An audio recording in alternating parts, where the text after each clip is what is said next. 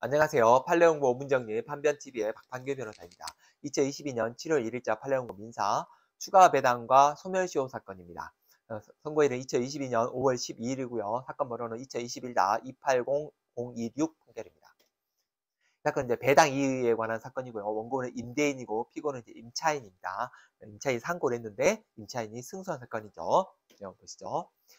원고 소유의 부동산이 이제 2008년, 2008년이니까 14년 전이죠.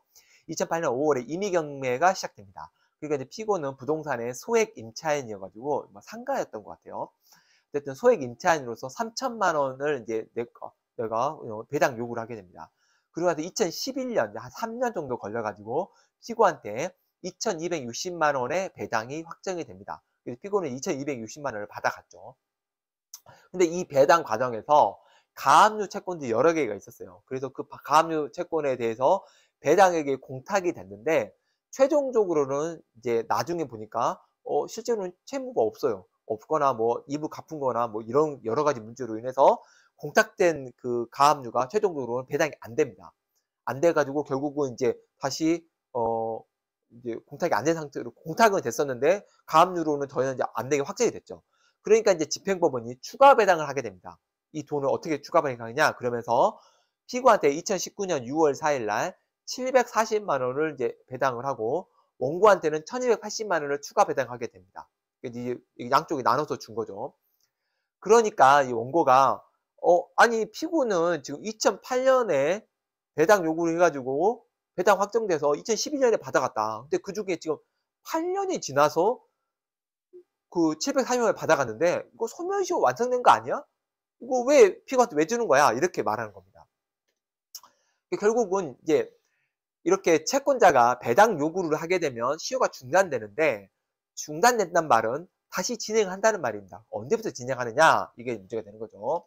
대법원 뭐라고 하냐면 배당 요구에 관한 채권에 관해서 소멸시효는 배당 요구로서 중단이 됩니다. 그러니까 배당 요구를 하면 소멸시효가 중단돼 가지고 뭐 그때는 이제 이게 소멸시효가 더 이상 진행을 안 하는 거죠. 그런데 가압류로 배당금이 공탁될 경우에 배당금이 가압류 채권자에게 지급될 때까지는 배당 결차가 종료된 게 아니다. 무슨 말이냐면 가압류로 공탁이 됐는데 이 공탁금이 실제로 압류 채권자에게 넘어갈 때 그때까지는 배당 절차가 계속 진행된다는 거예요. 계속. 따라서 추가 배당표가 확정되는 시점까지 소멸시효 중단은 계속된다. 결국 2019년까지 소멸시 배당 절차가 계속 되고 있기 때문에 계속 중단된 상태라는 겁니다. 따라서 피고의 보증금 청구는 소멸시효가 중단된 상태로 시효 소멸이 안 됐다는 거죠. 결국은 어, 740만 원 피고 받아간 게 맞다. 이제 그 원심은 이걸 대해서 소멸시효가 완성됐다고 본 거예요. 왜냐면 2011년에 배당표가 확정이 됐기 때문에. 하지만 대법원은 그게 아니라 그때 확정이 됐지만 추가 배당이 된다면 추가 배당이 끝날 때까지 다시 배당 배당 절차가 종료된 게 아니라는 겁니다. 따라서 소멸시효 중단된 거 아니다. 결국은 사건은 배당표가 확정되고 2,200만 원 받아갔지만 가압류로 된 공탁된 금액이 있다면 기간이 길어져도 추가 배당 받을 때까지는 소멸시효 소멸이 안 된다는 겁니다. 그리고 별도 소송도 가능하다. 이런 거죠. 그러면 이제 결국은 이런 거죠. 내가 배당을 받아서 돈을 덜 받았어요. 덜 받았어요.